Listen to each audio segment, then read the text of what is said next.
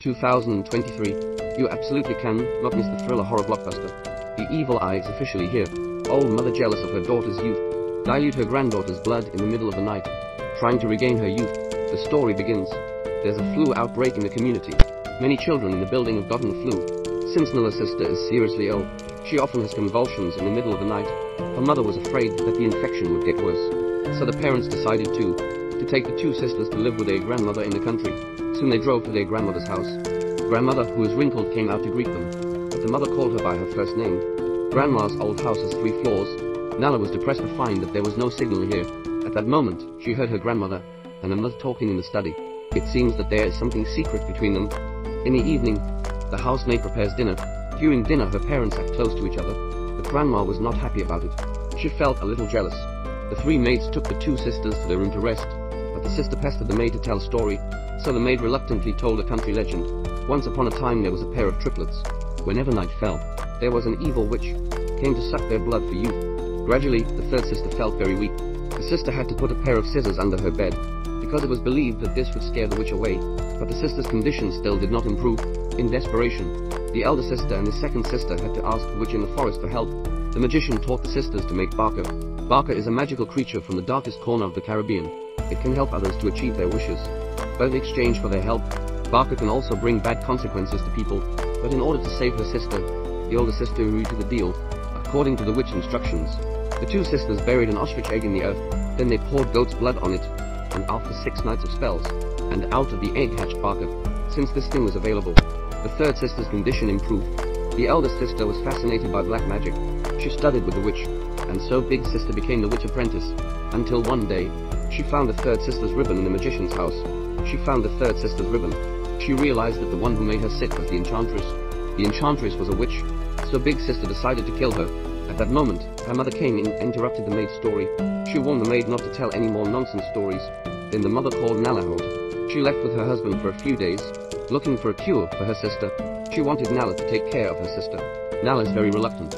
Didn't want to be left alone to face her mean grandmother. But nothing could be changed. Then her mother went back to her room to pack her things.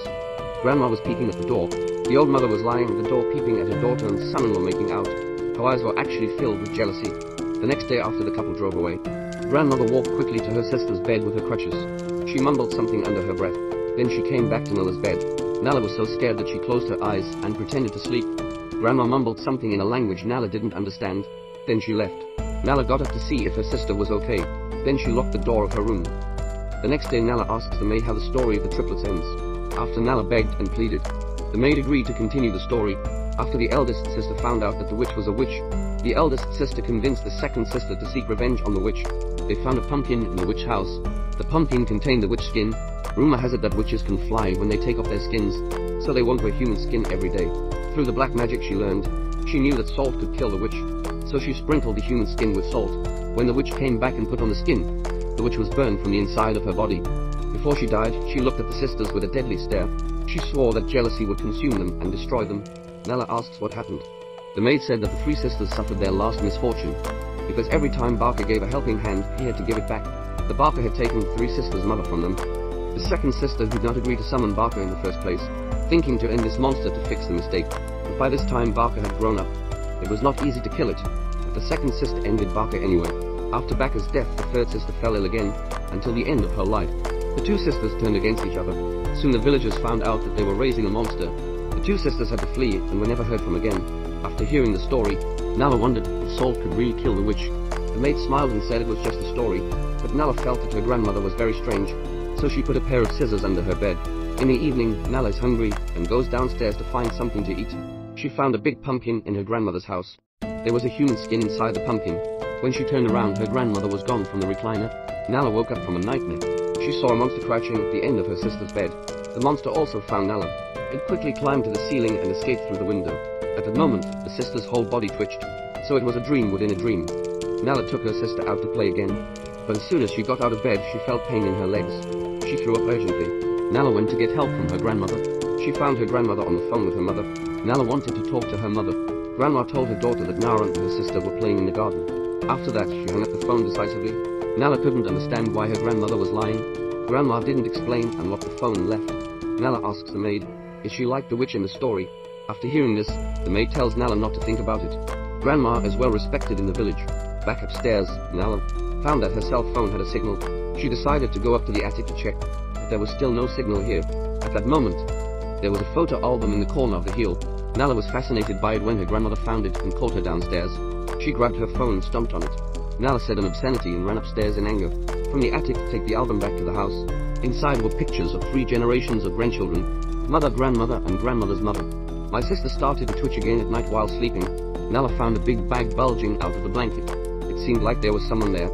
She had the courage to lift the blanket, but there was nothing there. Nala went out of bed to check.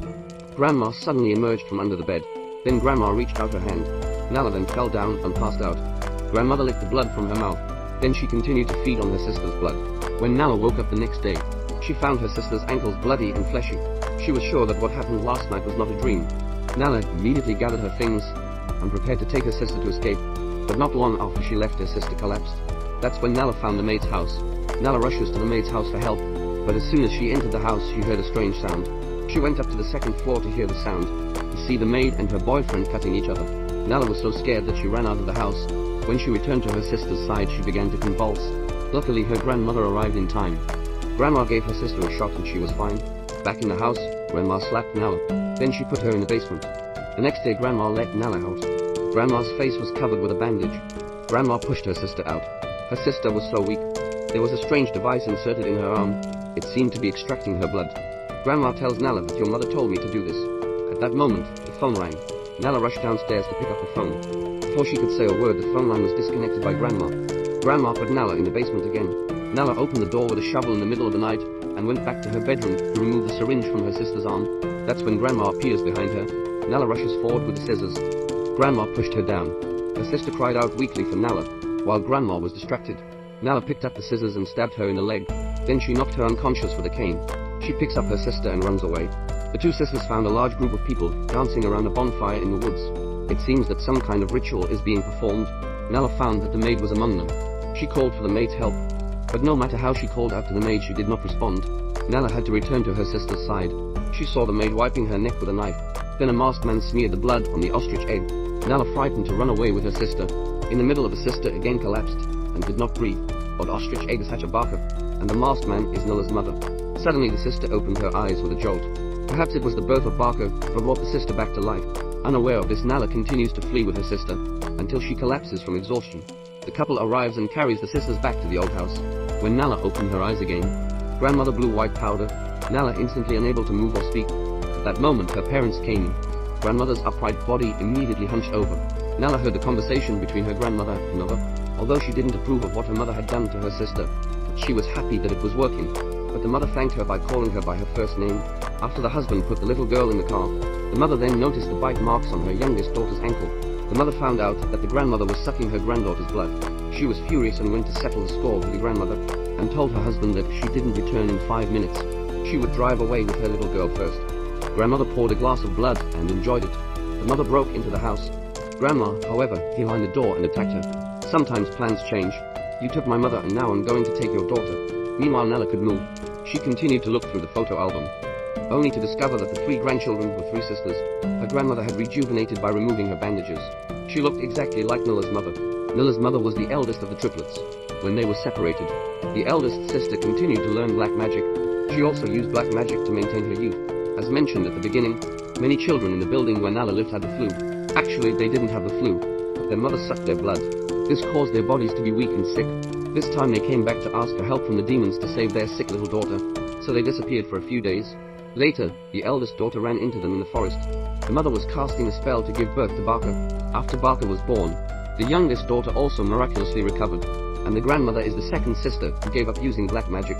Nara saw her oldest sister living a happy life, enjoying her youth and men. Her heart was filled with jealousy, so she sucked the blood of her youngest daughter to rejuvenate. When Nala was about to leave her grandmother, had become her mother stopped her and told her, in a while, she would move in with us. Nala couldn't stand the horrible grandmother. Grandma pretended to be her mother and got into the car. She couldn't wait to kiss her husband, and Nala took the scissors to her grandmother's room. She stabbed her husband to death. Then she poured salt all over. Outside, the Baka shook and shook. Soon smoke was rising from the body. Nala washed the blood off her body, got into the car and went home with her mother, and her sister's condition was completely recovered. It was a medical miracle. At night, Nala had an episode. She threw her pants in the washing machine. Suddenly, she heard a roar. She looked for the sound. She found the roar coming from a wooden box. When she opened it, she saw that it contained Baka. Nala was so scared that she stepped back. But she accidentally knocked over a box. Inside the box was a horrible human skin. Then the monster with a different face suddenly appeared. She hugged Nala and said you've become a woman. Today is the day you really start learning. Darling, Nala realizes that only her grandmother would call her that. She then realizes that she killed her mother. Maybe that's the price Baka paid for saving her sister.